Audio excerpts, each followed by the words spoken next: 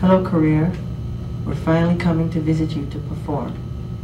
I look forward to seeing you all, and I want to thank all the fans for your loyalty and your support. I look forward to seeing you soon. Thank you.